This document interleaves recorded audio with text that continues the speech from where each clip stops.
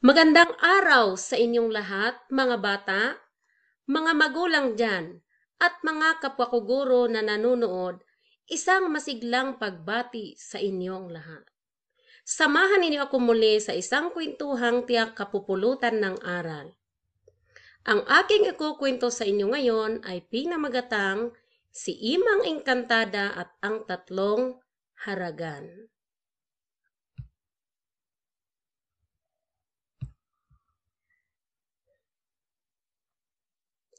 Si Imang Engkantada at ang Tatlong Haragan. Kwento ni Rene Villanueva, guhit naman ni R. Jordan P. Santos. Ito si Imang Engkantada. Siya ay may pambihirang galing. Maganda ang kanyang bakuran. Maraming prutas at gulay. Maraming ibon at hayop malinis ang hangin at tubig. Ito naman ang tatlong haragan. Sipat kalat ay hari ng basura. Kalat dito, tapon doon. Ito ang ugali niya. Si Pulputol ay kaaway ng mga halaman.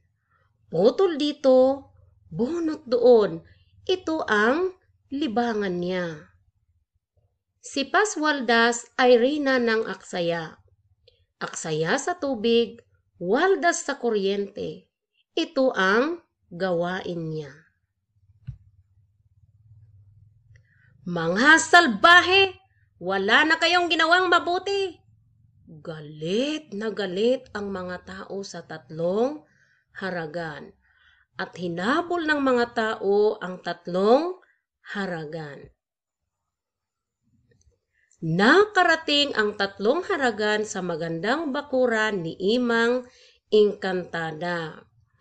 Ang sarap sirain, sabi ni Paul. Sige, sirain natin, sabi ni Pat. Sirain natin ng todo, sabi ni Pas. Dumating si Imang Engkantada Binawalan niya ang tatlong haragan. Tumawa lamang ng tumawa habang sinisira ang magandang bakuran. Nagalit si Imang Engkantada. Dapat kayong bigyan ng aral.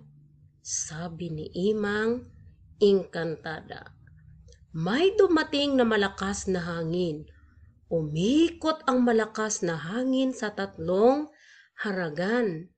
Nahilo ang tatlong haragan.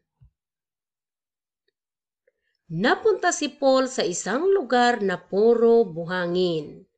Walang halaman sa paligid at mainit ang sikat ng araw.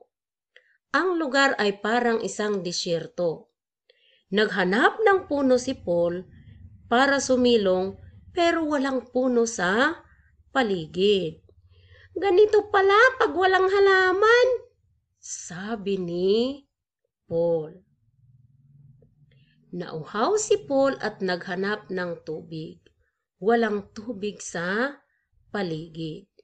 Ganito pala pag walang puno at tubig, sabi ni Paul. Gusto ko ng puno! Gusto ko ng tubig! Mawa na kayo! Sabi ni Paul. Napunta si Pat sa tambakan ng mga basura. Mabango at marumi sa tambakan ng mga basura. Maraming langaw, ipis at daga. Malalaki ang ipis, langaw at daga. Hinabol si Pat ng maraming langaw, ipis at daga. Takot na takot si Pat. Ganito pala pag masyadong marumi, sabi ni Pat. Ayokong kainin ng daga. Ayokong magkasakit. Iligtas ninyo ako. Sabi ni Pat. Napunta si Pat sa isang madilim na syudad. Puro usok sa syudad. Payat na payat ang mga tao. Naghanap ng ilaw si Paz, walang kuryente. Naghanap ng gripo si Paz, walang tubig. Mamamatay ako sa usok at dilim! Mamamatay ako pag walang tubig at ilaw! Maawa na kayo! Sabi ni Paz. Hindi na po ako magkakalat. Sabi ni Pat. Hindi na po ako maninira. Sabi ni Paul. Hindi na po ako mag-aaksaya. Sabi ni Paz. Maawa na po kayo. Sabi ng tatlong haragan.